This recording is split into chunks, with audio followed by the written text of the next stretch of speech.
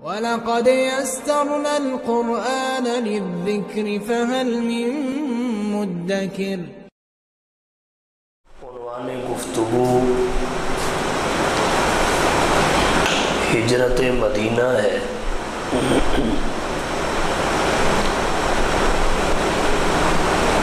हिजरत मदीना जनाब नबी करीम सल्लल्लाहु अलैहि वसल्लम की सीरत के पहलुओं और अज्जा में अहम पहलू और जुज़ है। इसकी तफसीलात में जाने से कबल, हिजरत की तारीफ़ और अकसाम ज़िक्र करना मुनासिब मालूम होता है।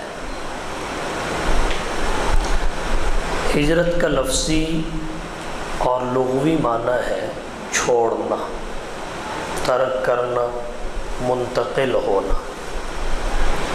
शरीयत की इस्तेला में हिजरत का माना और मतलब ये है, आदमी अपने मुल्क और वतन में दीनी शायर पर आज़ादी के साथ जब अमल न कर सके मुल्क और वतन छोड़कर किसी ऐसी जगह चला जाए जहाँ आज़ादी के साथ दीनी शायर पर अमल कर सकता हो। खा वहाँ इस्लामी हुकूमत हो या इस्लामी हुकूमत ना हो। जैसा कि साहबा कराम मदीना से पहले हबशा की जानब हिजरत करके गए। वहाँ भी इस्लामी हुकूमत नहीं थी। फिर मदीना हिजरत करके आए, वहाँ भी इस्लामी हुकूमत नहीं थी। इस्लामी हुकूमत और रियासत मदीना का क़याम बाद में अमल में आया। ये जो मैंने हिजरत का इस्तलाही मफहूम ज़िक्र किया इसे हिजरत मकानी कहते हैं।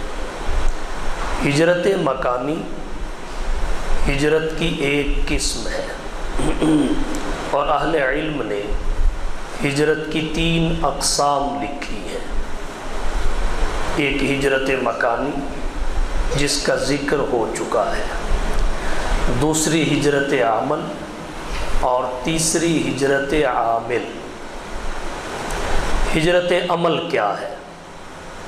हिजरत अमल ये है कि बंदा अल्लाह के मना किए हुए आमाल से बाज आ जाए।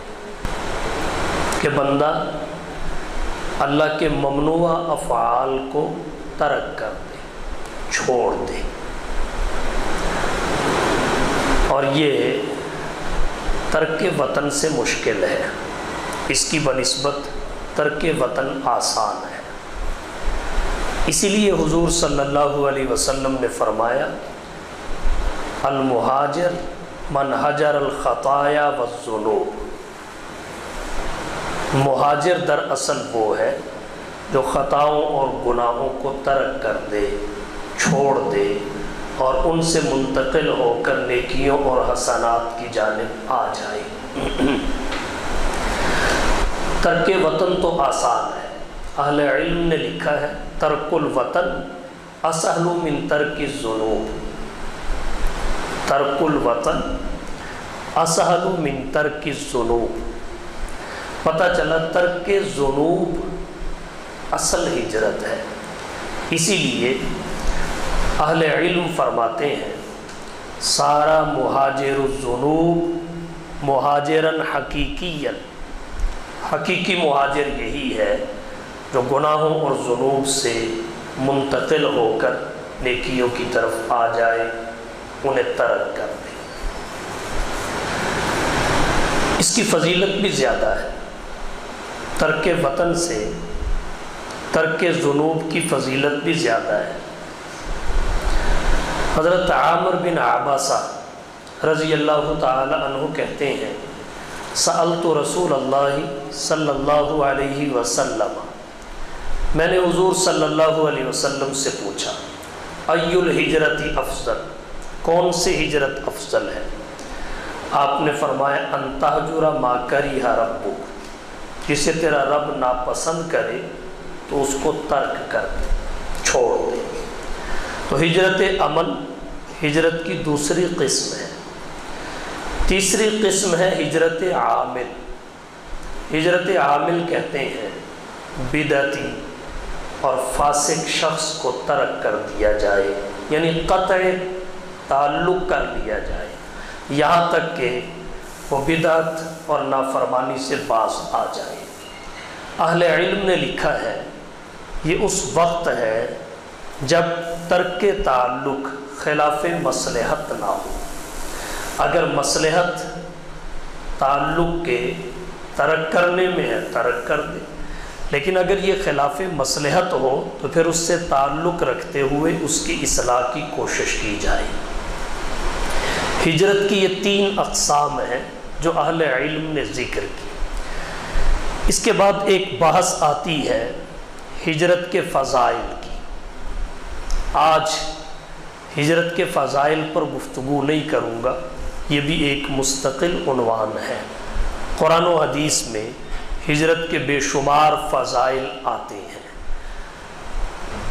आज जो बात करना चाहता हूँ, वो हिजरत के असबाब और उसकी तफसीलात पर मुश्तमिल है। हिजरत के इसबाब क्या थे? सबसे बड़ा और जाम सबब ये है कि साहबा कराम रज़ी अल्लाह तहम अजमाई मक्का मुकर्रमा में आज़ादाना हैसियत से दीनी शायर पर अमल करने में शदीद मुश्किल महसूस कर रहे थे और उसका सबब कुफ़ार का जुल्म ज़ोर था और ये हद से बढ़ चुका था। अल्लाह ताला ने नबी करीम सल्लल्लाहु अलैहि वसल्लम को हुक्म दिया कि आप अपने साथियों को हिजरत की इजाज़त दे दें।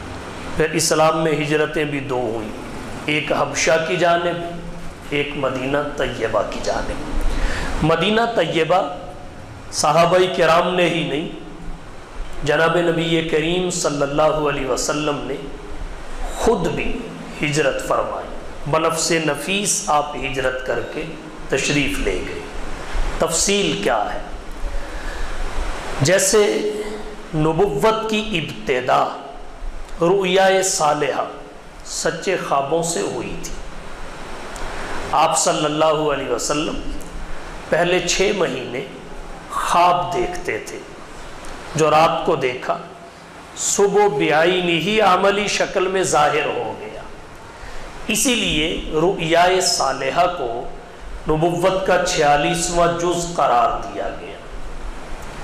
चालीस बरस पर आपको नबुवत मिली और तेईस बरस तक एताई नबुवत के बाद आप हयात रहे, सतह ज़मीन पर।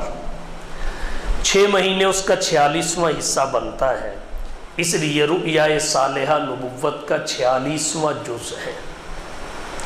इसकी इब्तदा रुया साल से हुई। हिजरत की इब्तदा भी रुया साल से हुई, सच्चे ख्वाबों से।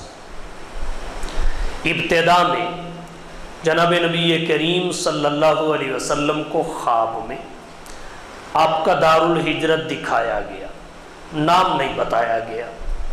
आपने ख्वाब में नखलस्तान देखे। आप सल्लल्लाहु अलैहि वसल्लम तरद्दुद और तअम्मुल में थे। यहाँ तक कि अल्लाह की जानब से नाम भी वाजे कर दिया गया, आपका दारुल हिजरत यसरब, यानी मदीना मुनव्वरा होगा। उसके बाद आप सल्लल्लाहु अलैहि वसल्लम ने साहबा कराम को हिजरत की इजाज़त, मरहमत फरमाई। हिजरत करना कितना मुश्किल था। इसका अंदाज़ा आप इस एक वाक़ से लगा सकते हैं, जो मैं आपकी तवज्जो की नज़र करने लगा हूँ। कुरान हदीस में हिजरत के मुतद और बड़े बड़े फ़ज़ाइल हैं। उन फ़ज़ाइल की वजह समझ आती है कि हिजरत आसान नहीं था, इंतहाई मुश्किल मरहला था। सबसे पहले मुहाजिर जो मदीना की तरफ़ हिजरत करके जाने लगे, वो जनाब नबी करीम सल्लल्लाहु अलैहि वसल्लम के एक रज़ाई भाई थे, अबू सालमा बिन अब्दुल असद मखजूमी। इन्होंने अपनी सवारी तैयार कर ली, कुजावा कस लिया। अपनी बीवी उम्म सालमा और बेटे को सवार कर लिया निकलने लगे कुरैशियों को, सरदारों को, लोगों को इत्तला हो गई। सबसे पहले इनकी बीवी के ख़ानदान वाले सामने आए। इनसे बीवी छीन ली, उम्म सलमा। और ये उम्म सलमा कौन है? ये अबू सलमा की वफ़ात के बाद उम्मुल मोमिनीन बनी अजवाज मतहरात में एक नाम हज़रत उम्म सलमा आता है। ये उम्म सलमा वही है। ख़ानदान वालों ने उम सलमा को छीन लिया। बच्चा गोद में था, वो भी आ गया। जब उम्म सलमा को बच्चे समेत अबू सलमा से हज़रत उम्म सलमा के ख़ानदान वालों ने अलग कर दिया कि आपको तो जाने का हक है। लेकिन ये हमारे ख़ानदान की बेटी है। इसको साथ ले जाने का इख्तियार हम आपको नहीं दे सकते। हज़रत उम्म सलमा रोती रही, लेकिन उन्होंने एक नहीं सुनी।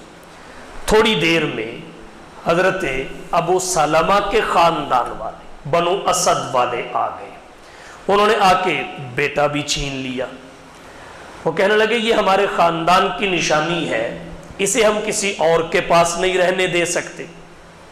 अब तीनों एक दूसरे से अलग हो गए। उम्म सलमा रज़ी अल्लाह तहा अलग, उनका बेटा अलग और अबू सलामा अकेले बरसती आँखों के साथ मक्का से मदीना हिजरत के लिए निकल पड़े।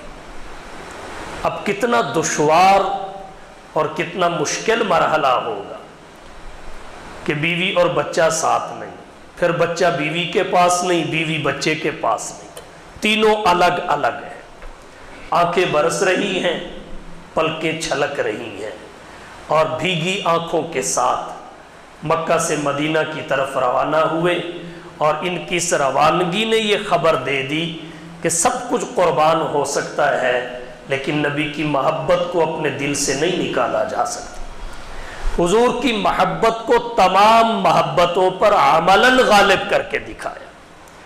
लायुमिन अहदुकुम हत्ता अकून अहब्बा इलैहि मिन वालिदिही व वलदिही वन्नासी अजमाई हकीकी मजहर था इस हदीस मुबारक का ये मौका और ये वक्त। चल पड़े। हज़रत उम्म सलमा एक साल तक सुबह होते ही उस मकाम पर आ जाती थी, जिस मकाम पर खामन और बच्चा इनसे जुदा हुआ था। एक साल तक वहाँ आके सारा दिन रोती रहती। आँखों का पानी खुश्क हो गया। शाम ढलती तो अपने घर चली जाती। ये सूरत हाल थी। एक साल के बाद हज़रत उम्म सलमा पर एक शख्स को रहम आया। हज़रत उम्म सलमा कहती हैं, उन्होंने आकर मेरे ख़ानदान वालों से बात की। कहा कि तुम इस मिसकीना पर रहम नहीं करते। तुम में से किसी के दिल में रहम का मादा नहीं है। अब इसको छोड़ दो, बहुत हो गया। चुनाचे उन्होंने हज़रत उम्म सलमा को खामन के पास जाने की इजाज़त दे दी। फिर बात करने पर बनु असद ने बच्चा भी उनके हवाले कर दिया। फिर हज़रत उम्म सलमा अपने बच्चे को लेकर तनहा मक्का से मदीना की जानब रवाना हुई।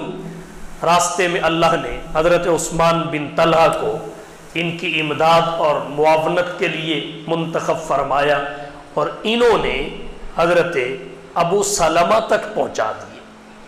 वहाँ इनकी आपस में मुलाकात हुई। यहाँ से आप अंदाज़ा कर सकते हैं कि हिजरत का सफ़र आसानी से नहीं, बड़ी मुश्किल से हुआ।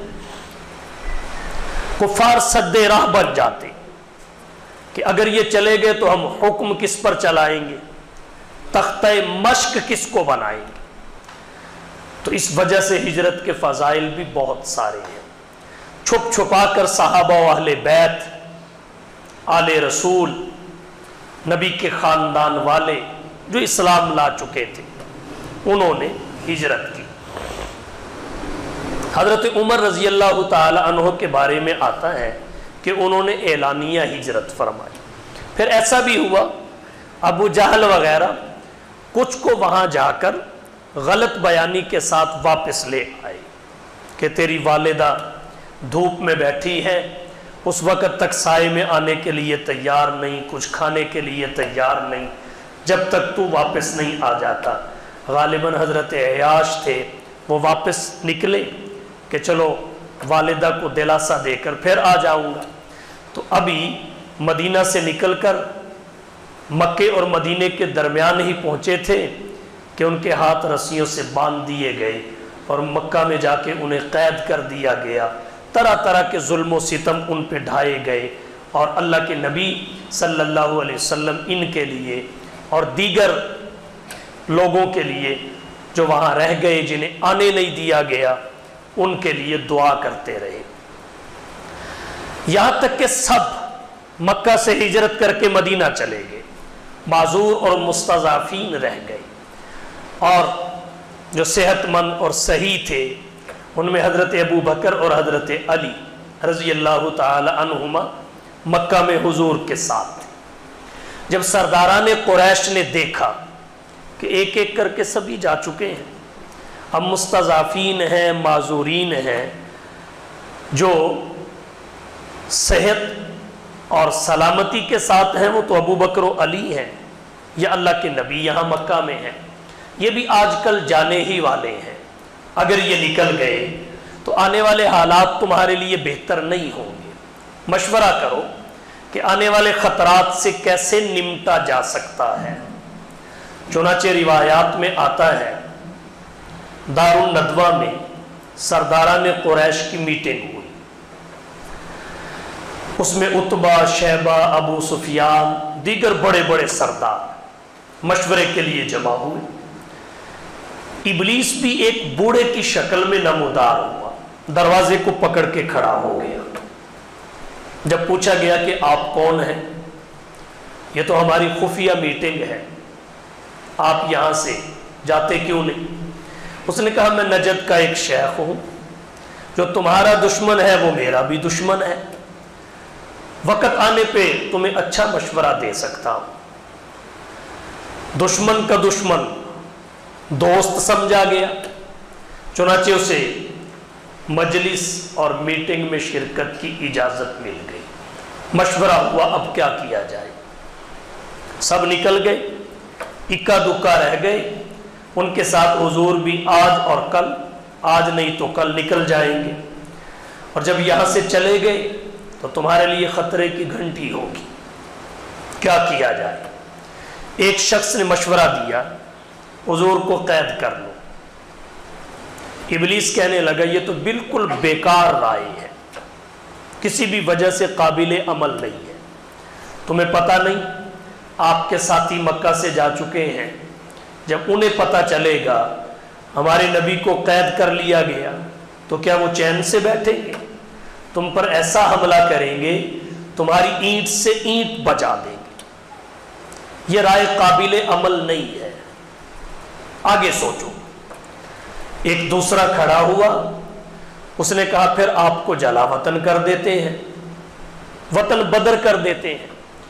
फिर इबलीस पौना बुज़ुर्ग की शक्ल में था। और आज भी इबलीस बुज़ुर्गों की शक्ल धार धार कर दीनी कवानीन को, दीनी उमूर को नुकसान पहुँचाने के दर पे हैं। तो शैतान ने कहा, नहीं, ये भी काबिल अमल नहीं है। ये काबिल अमल क्यों नहीं? भाई, इसके लिए तुम्हें जिद्दोजहद करने की क्या ज़रूरत है? वो तो खुद जा रहे हैं। तो तुम्हारा ये मीटिंग बुलाना चेवाना दार वो तो खुद जा रहे हैं। अगली बात पे गौर करो, अगर हुजूर सल्लल्लाहु अलैहि वसल्लम खुद चले गए, या तुमने जला वतन कर दिया तो पता है कलाम में मिठास कितनी है? कलाम की शेरीनी का अंदाज़ा है, जब चंद जुमले ही बेगानों को अपना बना देते। ये ज़ुबान की मिठास और कलेमात का मबनी बर हकीकत होना ही था, जिसने सुहैब को रूम से खींच लिया, सलमान को फारिस से खींच लिया, बिलाल को हबशा से खींच लिया, कोई किसी कबीले का, कोई किसी ख़ानदान का, कोई किसी इलाके का, कोई किसी ज़ुबान का, कोई किसी शोबे और फ़न का, लेकिन सारे मुस्तफ़ा की खिदमत में ऐसे बैठे होते थे जैसे एक बाप की औलाद बैठी होती। कहा तुम्हें, इसके कलाम की दिल आवेजी का अंदाज़ा है? साथी भी जा चुके, और अगर ये भी जाके उनसे मिल गए तो फिर ये उनको ऐसा तैयार करेंगे कि जिस वक्त इन्होंने तुम्हारा रुख कर लिया तो जैसे सैलाब के आगे तिनका नहीं ठहर सकता तो मोहम्मद और साहब मोहम्मद के आगे नहीं ठहर सको कोई अकल की बात करो। तीसरे नंबर पर अबू जहल खड़ा हुआ। अबू जहल कहने लगा अच्छा तो फिर मेरे जहन में तो ये आता है कि कुरैश के जितने कबाइल हैं, हर कबीले का एक, लड़ाका, तगड़ा, ताकतवर और कड़ियल जवान निकाला जाए। हर कबीले का एक जवान निकाला जाए और इन जवानों की एक टीम बनाई जाए। फिर उस टीम के जिम्मे लगाया जाए कि मिलकर हुजूर को अलायाजुबिल्ला कत्ल कर दे। इसका फ़ायदा यह होगा कि आपका खून अरब के तमाम कबाइल में तकसीम हो जाएगा। कुरैश के तमाम कबाइल में बिखर जाएगा। और बनु अब्द मन्नाफ अरब के सब कबाइल से, कुरैश के सब कबाइल से लड़ने की पोजीशन में नहीं है। मामला दियत और खून बहा पर आ जाएगा। और वो हमारे लिए क्या मुश्किल है? जब अबू जहल ने ये बात की तो फिर इस बुज़ुर्ग ने थपकी दी। कहा, बस, राय तो ये है। इसकी अमली तनफीज में कोई तखीर ना की जाए। आज रात को ही अमली जामा पहना दो।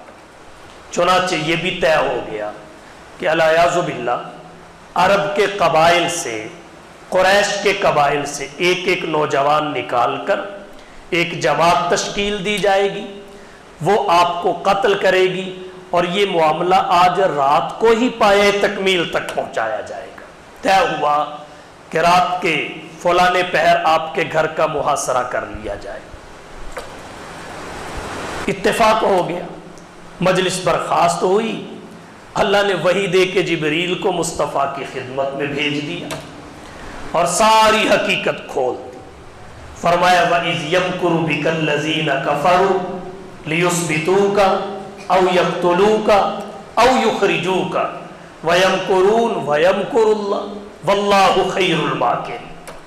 उस वक्त को याद कीजिए, जब आपके बारे में लोग तरह तरह की तदबीरें कर रहे थे। एक तदबीर ये, लियुस्बितूक, आपको कैद कर एक ये यकतलूक आपको कत्ल कर दे, एक ये युखरिजूक आपको जला जलावतन कर दे। वयम कुरून वो अपने मकरो फरेब कर रहे थे, अपने जाल बुन रहे थे। वयम कुरुल्ला और अल्लाह अपना काम कर रहा था। अल्लाह अपनी तदबीर कर रहा था। वल्लाह खैरुल माकिरीन, और अल्लाह बेहतरीन तदबीर करने वाले हैं। सारा भांडा अल्लाह ने उनकी तदबीरों को फोड़ दिया और अपने नबी को हिजरत की इजाज़त दे दी। और हिजरत के लिए निकलना कैसे है, सारी तफसीलात अल्लाह ने बता दी। हज़रत अली रज़ी अल्लाह तह से मुस्तदर के हाकिम में रिवायत आती है। हज़रत अली रज़ी अल्लाह तह कहते हैं, जब हिजरत की इजाज़त मिली तो नबी ने जबरील से सवाल किया मेरा इस सफ़र में साथी कौन होगा? इस सफ़र में मेरा साथी कौन होगा? तो जिबरील में बताया, अबू बकर आपके साथी होंगे। और तफसीर हसन अस्करी में रिवायत आती है। अल्लाह ताला ने जब हुजूर सल्लल्लाहु अलैहि वसल्लम को हिजरत का हुक्म दिया तो रफ़ीक सफ़र का तयन करके साथ ले जाने का हुक्म भी भेज दिया। इन अल्लाह अमारा का हबीब, आपका हिजरत का सफ़र तब तक शुरू ना होगा, जब तक अबू बकर रफ़ी के सफ़र ना हो इंतखाब अल्लाह ने किया। इंतखाब अल्लाह ने किया।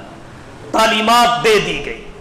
आप ये दुआ पढ़ते हुए निकले। पुर रबी अदखिलनी मुदखल सिद्क व अखरिजनी मुखरज सिद्क।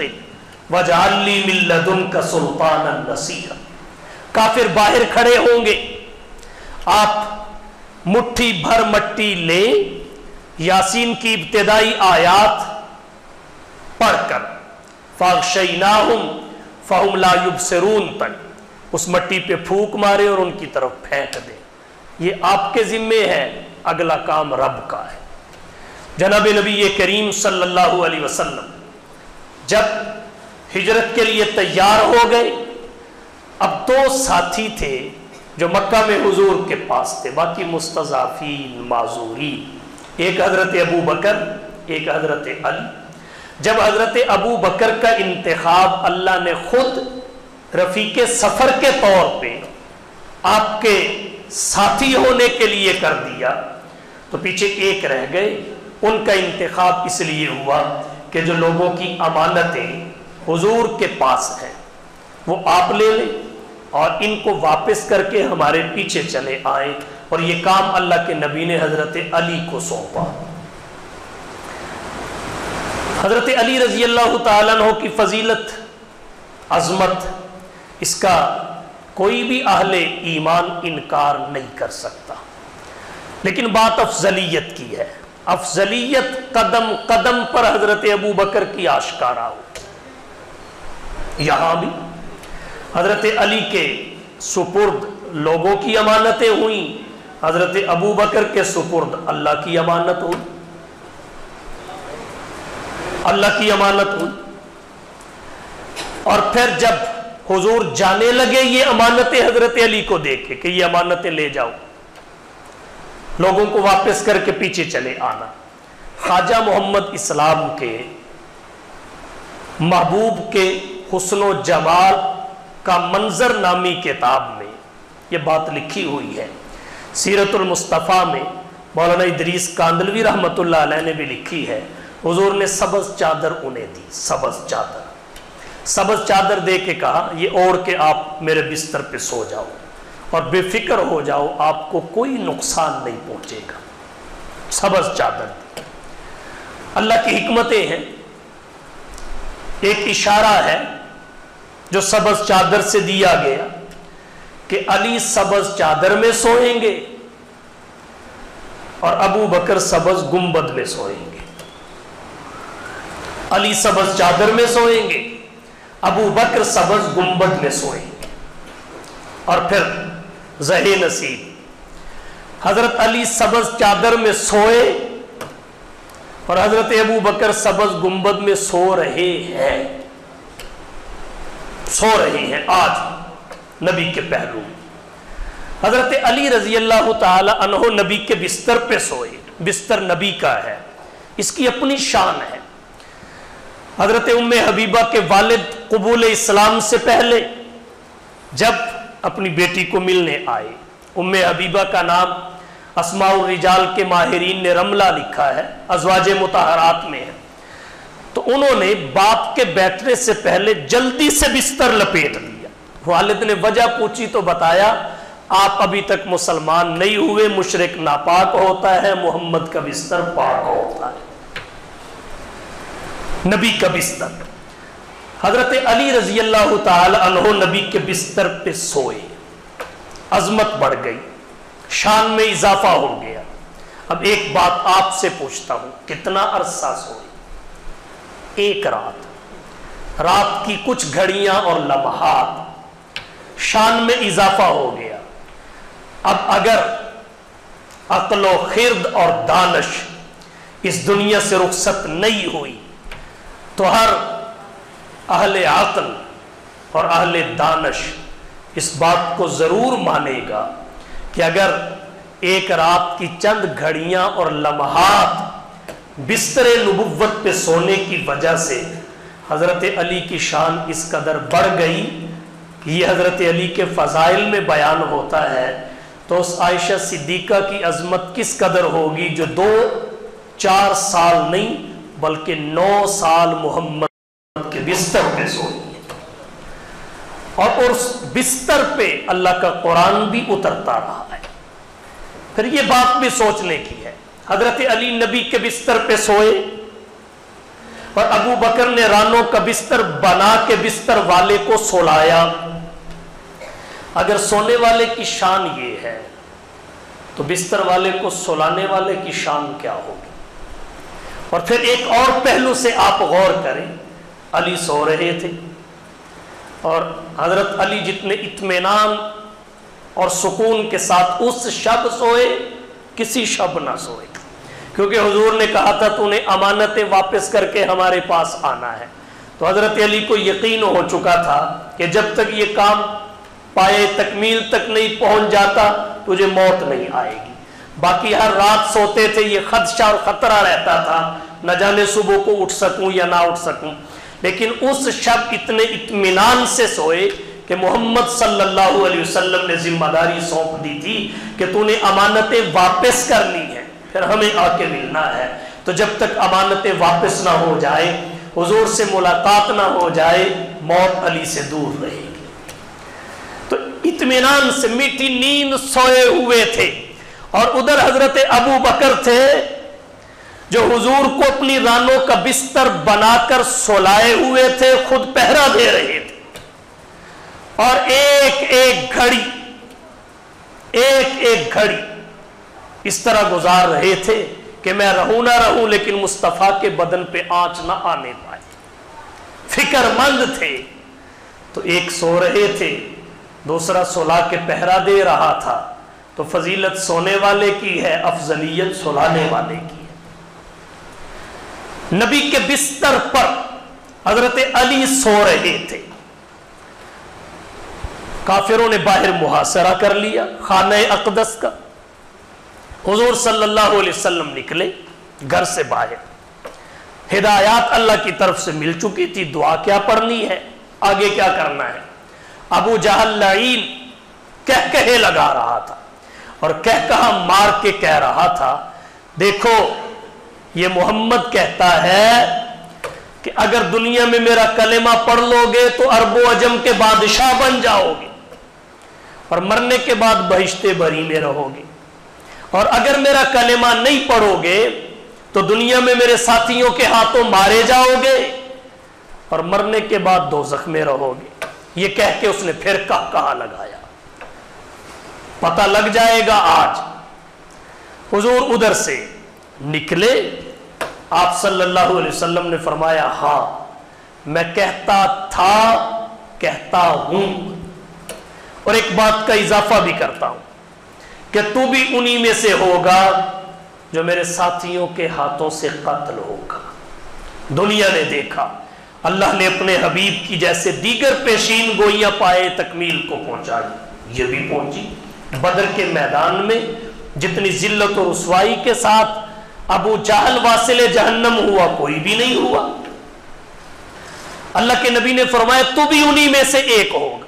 ये कह के रब्बानी हिदायत के मुताबिक मुट्ठी में मट्टी थी, उस पर यासीन की इब्तदाई आयात पड़ी, फूका, हवा का झोंका आया, उसने वो मट्टी फैलाई।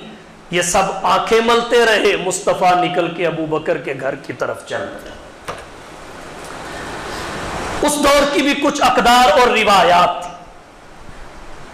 घर में दीवार फलांग के नहीं जाते थे। सारी रात खड़े रहे, अंदर नहीं गए। आँखें मल रहे हैं, हुजूर जा चुके हैं। एक बंदा आया, आके कहने लगा, सरदार जी, खैर तो है। आज सारे सरदार यहाँ जमा हो गए। वो कहने लगे, बस, आज हमारा मंसूबा बड़ा है। आज हमने मोहम्मद को अलायाजुबिल्ला कत्ल करके इस मुआशरे का सारा इंतशार और इफ्तराक ख़त्म कर देना है। खामन बीवी से लड़ रहा है, बीवी खामन से लड़ रही है। बेटा बाप का नहीं, बाप बेटे का नहीं, भाई भाई का नहीं। ये सारा इंतशार हमने ख़त्म कर देना है। आज हमने मोहम्मद को कत्ल कर देना है। अलायाजुबिल्ला वो कहने लगा, अल्लाह तुम्हें नाकाम करे।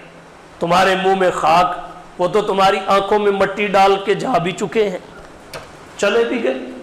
कहा अच्छा चले गए। कहा तो फिर ये अंदर कौन सोया हुआ है? उस वक्त ये दीवारें और ये बिल्डिंग की कैफियत और हैत नहीं होती थी। झांका जा सकता था। तो फिर ये बिस्तर पे कौन है? फिर गए अंदर। अंदर जाके देखा, चेहरे से चादर हटाई, देखा तो सोने वाले अली थे। कहने लगे, अली, आप? जी, मैं नबी कहाँ है? मुझे तो नहीं पता। मेरे जिम्मे उन्होंने ये काम लगाया था कि ये अमानतें वापस करनी है। तुम में से जिसकी है बताओ, मैं वापस कर देता हूँ। काफिरों ने सारी रात अली को नबी समझा। सारी रात अली को नबी समझा। अपने इस फाहम में गलत थे, सही नहीं थे। तो वो अली को नबी समझकर गलत है। तो अली को अल्लाह समझने वाला सही कैसे हो सकता है? अली को अल्लाह समझने वाला सही कैसे हो सकता है? जब देखा ये तो अली है, कहा, जल्दी तलाश करो। जिसके लिए तुम सारी रात खड़े जलील होते रहे, वो कहाँ है?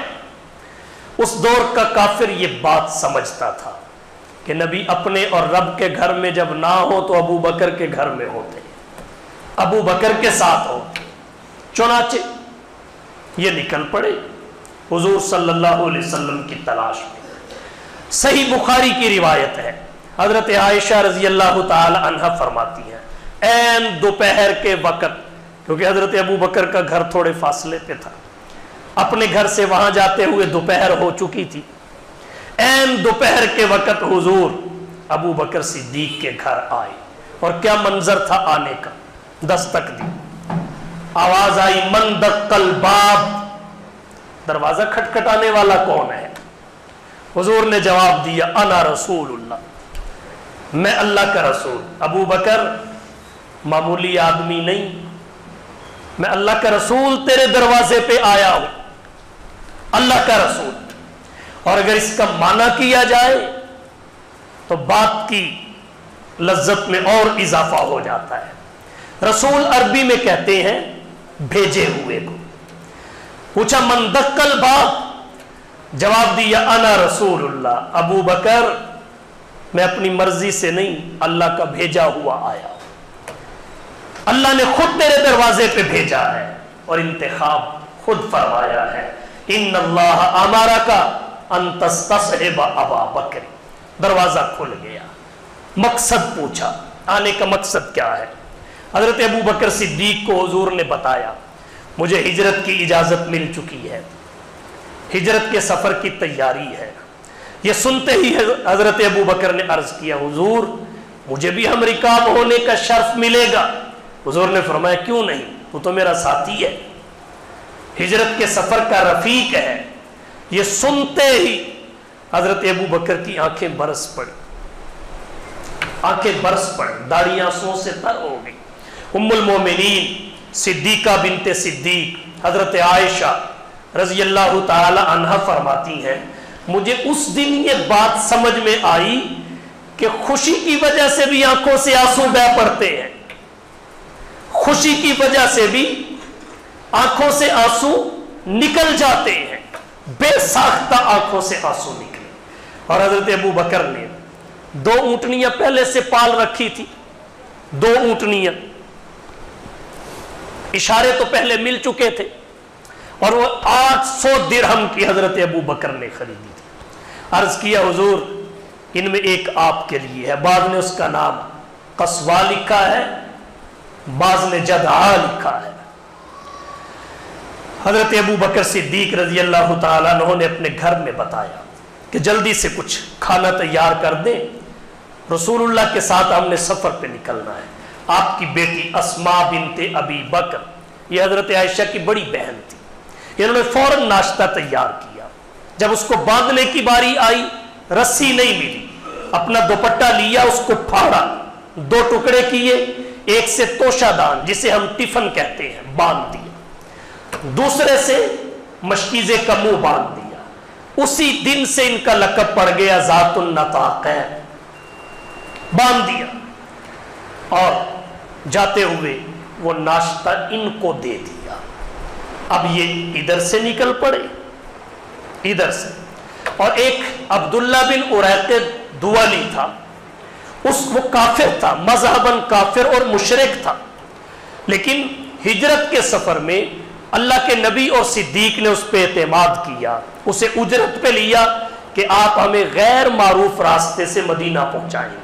और ये हमारी ऊँटनियाँ हैं ये आपके सुपुर्द है। तीन दिनों के बाद आप इनको फलानी जगह पे लेके आ जाएँगे। यहाँ अहले इल्म ने एक नुक्ता लिखा है कि काफिर से खिदमत लेना जायज़ है, मजदूरी करवाना जायज़ है, क्योंकि ये हजूर सल्लल्लाहु अलैहि वसल्लम का मजदूर और अजीर था। काफिला नबवी का कायद और अमीर नहीं था। अलबत् लीडर काफिर को नहीं माना जा सकता। उजरत का जवाब इस वाक़ से समझ में आता है। चल पड़े। इधर से ये निकले, उधर से तलाश करने वाले आगे। इधर से ये निकले, उधर से तलाश करने वाले आगे। अबू जहल आगे आगे है। दरवाज़ा खटखटाया। हज़रत असमा बिनते अबी बकर आई सिद्दीक की तरबियत याफ्ता थी।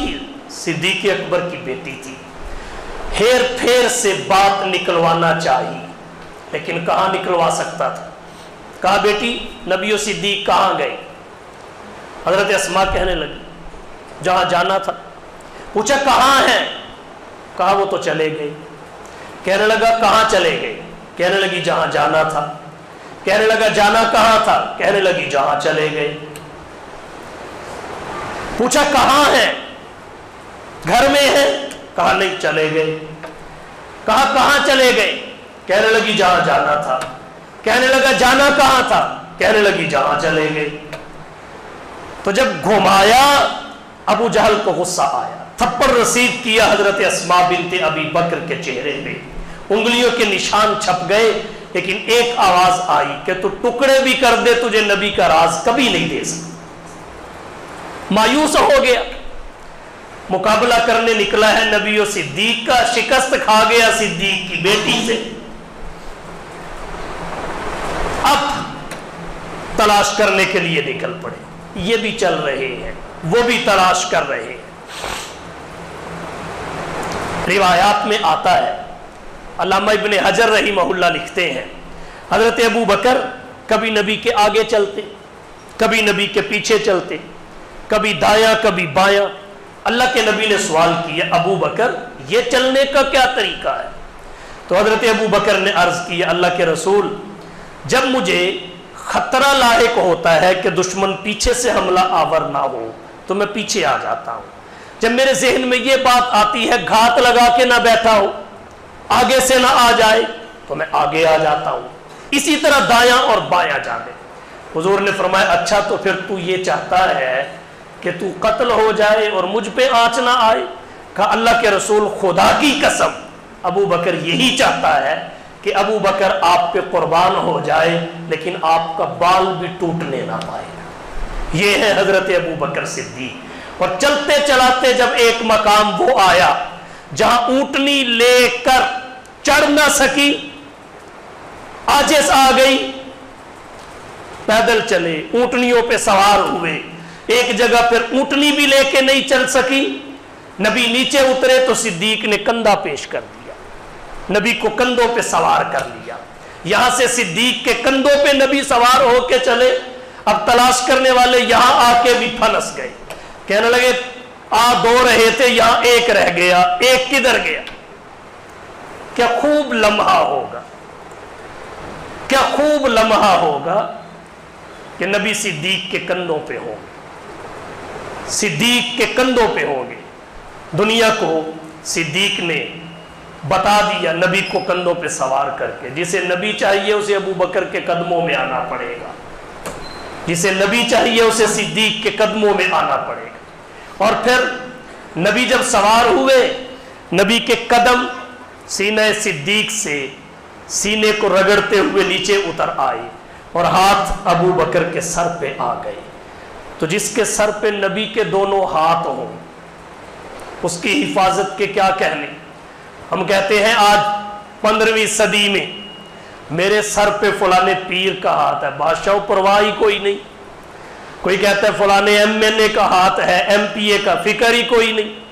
उसे क्या फ़िक्र होगी जिसके सर पे नबियों के नबी का एक नहीं, दोनों हाथ आए। और फिर कदम सीने से जब रगड़ खाते हुए नीचे उतरे तो इस्माइल बचपन में हो उनके कदम ज़मीन पे रगड़े जाए तो अल्लाह जमजम का चश्मा निकाल देते हैं। जहाँ पे एड़िया बच्चे ने रगड़ी थी, बना चारी। हुआ था चश्मा आब सर्दो शीरी का, वहाँ जारी। वो तो इस्माइल के कदम थे, जहाँ उन्होंने रगड़ खाई जमजम का चश्मा निकल आया। ये तो मोहम्मद के कदम थे जो अर्श तक पहुँचे। मक्के में लगे अल्लाह ने मुकर्रमा बना दिया। मदीने में लगे अल्लाह ने मुनवरा बना दिया।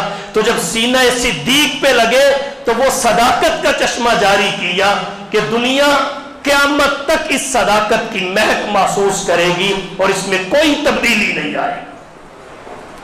और हाथ नबी के, अबू बकर के सर पे है।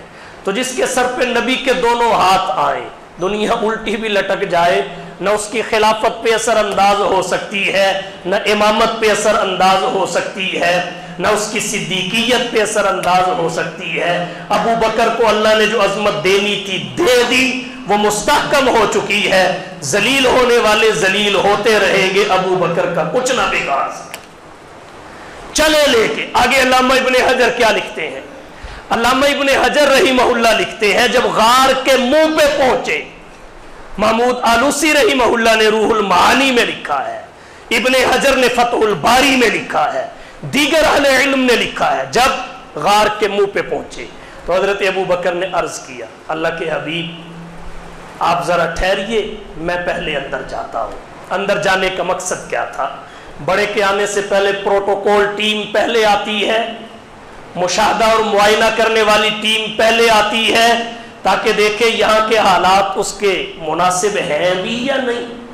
हज़रत अबू बकर पहले गए, उन्होंने गार का मुशाहदा किया, उसकी सफ़ाई की, जितने सुराख थे अपने कपड़े को फाड़ के बंद किए, जो रह गया उस पर एड़ी रख के हुजूर को अंदर आने की दरखास्त कर दी। गार में अबू बकर पहले गए, नबी बाद में आए। जब तक अबू बकर गार में नहीं आए मोहम्मद भी गार में नहीं आए तो तेरा क्या ख्याल है? जिस गार में अबू बकर पहले ना जाए, नबी वहाँ नहीं आते तो जिस दिल में अबू बकर पहले से ना हो, नबी वहाँ कैसे आ सकते हैं? नबी भी उसी दिल में आएँगे, जिस दिल में अबू बकर की मोहब्बत पहले से होगी। आगे, गार के अहवाल क्या है? ये मैं अगले जुमे ज़िक्र करूँगा।